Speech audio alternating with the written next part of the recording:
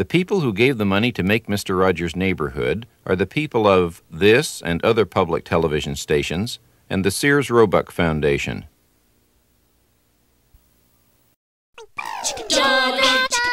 Doink.